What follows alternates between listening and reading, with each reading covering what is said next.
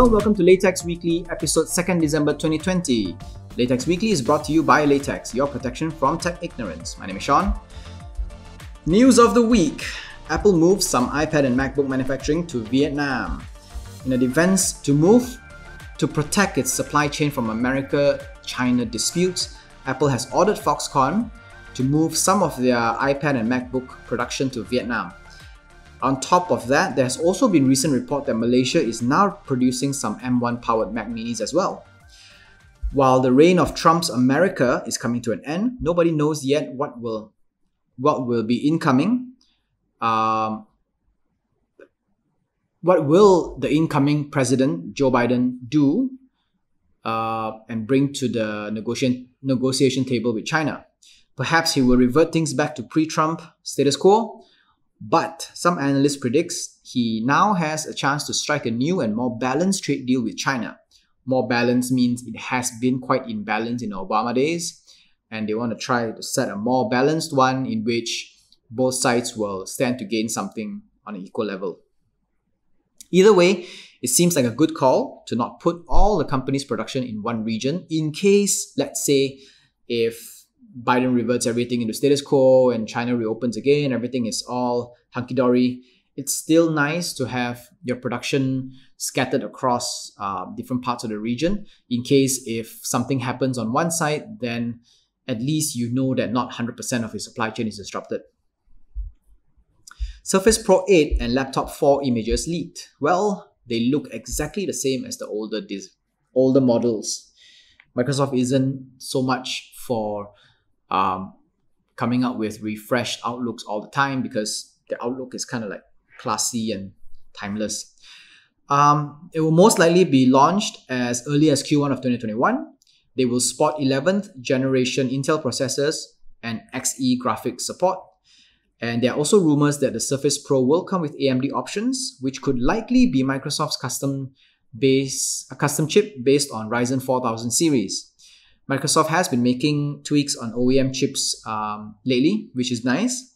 Uh, with the Ryzen and the SQ range on the Surface Pro X, it appears to be one of the ways the company is positioning itself away from other hardware makers. Kind of like I take what you have, but I tweak it to make it more efficient for my hardware devices instead of I just you know plug and play. I put it, take it as it is, and then I do whatever I want, like all the other hardware makers are doing it. So this is probably why, probably puts Microsoft in a position to charge a little bit of a premium on their devices. Maybe users can get a better experience using Surface devices, Surface window devices, rather than other window devices. Apple fined 10 million euros by Italian watchdog. Last week, we reported that Apple was fined in the US for throttling phones. Today, it's another case in Italy for misleading claims about the waterproofing of iPhones. This goes back to 2017 on the iPhone 8 and 8 Plus models. The Italian Competition Authority, or AGCM, said Apple was not clear enough about its water resistance claims. Apple said their phones were water resistant for up to 30 minutes at depths of up to 4 meters. But this actually only applied in certain conditions like controlled lab tests with pure water. The AGCM also criticized Apple for not covering water damage as part of their warranty despite making them water resistant. So, the claim here, the problem here is not in the claim itself. I mean, a lot of phone makers make all these claims, and the problem here is making a claim and then do not cover warranty um, for water damages. Uh, I do have friends who, who experience this, and they are not the type that, you know, 30 minutes at four meters. It is just like um, they have a, um, they have a they have a waterproof casing in which water went in because they went to a water park, and it was just a little bit of uh, water. There was not a lot of pressure pushing the, the water in when it's submerged in in the in a lake or something, and then it got water damage, and Apple refused to to uh, to allow for warranty claims because Apple says that we don't our warranty does not cover water damage. Um, and what this Italian watchdog AGCM is saying that on one side, Apple is claiming they their devices are waterproof, but on the other side, they do not do it to the extent of claim um, of allowing warranty claims for water damage. So they're just saying it's just a marketing ploy. Yeah. Which I'm not surprised given Apple.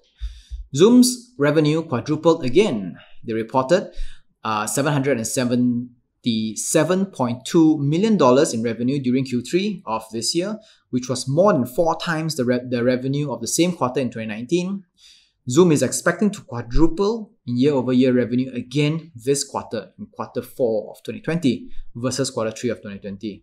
Uh, sorry, versus quarter four of 2019.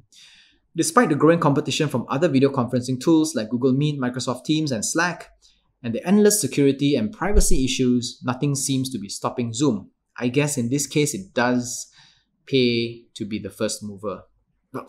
Right? There is nothing cool about Zoom except for the fact that it's the first mover. Well, there is something cool about it. They have a very nice, they were the first one that always had the free tier, uh, whereas Microsoft Teams and Google Meet kind of reacted. They initially, you can have Microsoft Teams, but you have to have, you can have the Microsoft Teams video call, but you have to have Microsoft Team first, which is part of Office 365. So, so many hoops to jump, right?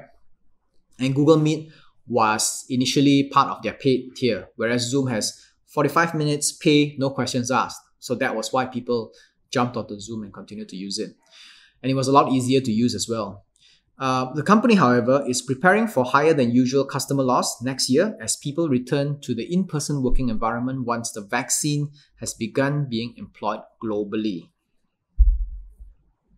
I think a lot of digital centric um, a lot of industries that have done well during COVID need to prepare for a dip once the vaccines are out.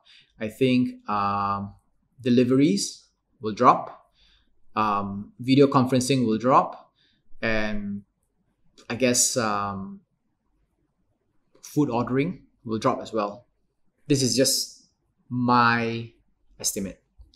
You can now share you can now share screenshots from your Switch to PC and phone. Imagine my horror when I realized that I could not I could only share my screenshots from my Nintendo Switch to Facebook. If I were to take my, my screenshots from Nintendo Switch out to my PC or my phone, I have to actually pull out the USB device, plug it in somewhere, and download it. I mean, it's 2020, right? And we can't even get these small things right. Then I thought, yeah, maybe Nintendo is you know, it's, it's Nintendo's way is trying to keep with the classic and uh, old school appearance where functions are very limited. For those who also hated this non-feature, I'm happy to announce that we can now share screenshots to PC and phones. Yay! All you have to do now is scan a QR code from your phone and you're you're able to transfer it from your phone. I don't know how it works on a PC though. I haven't tried it. I think you can connect to the PC using your USB device, which means that you still need a USB C, A, USB A, USB C, sorry, USB C to USB A or USB C or whatever peripherals your laptops are using um, to do the connection. So, update now to enjoy this awesomeness. There are no tech of the week this week, so um, we'll come back next week and see if there's something awesome to report. Laytechs Weekly is available in Anchor FM, Google Podcasts, Overcast, Spotify, Pocket Cast, Radio Public, and more. Our full videos are available on YouTube, and I post and clips on Instagram and Facebook. This is Laytechs Weekly, episode 2nd December 2020. My name is Shawn. Au revoir. Stay safe.